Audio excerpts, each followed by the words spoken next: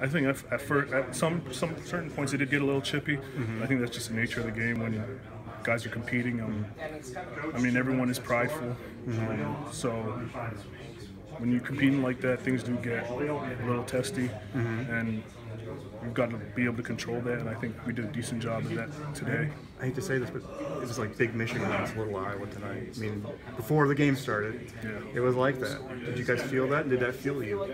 I mean, yeah, we felt honestly we felt like the, no one, no one was really pulling for us, and I don't blame them. Like they had really no reason to after last week's performance and how we've been playing all year. Right. But I think within the team, we knew that we were capable of competing, and it was just a matter of going out there and finally doing it for once.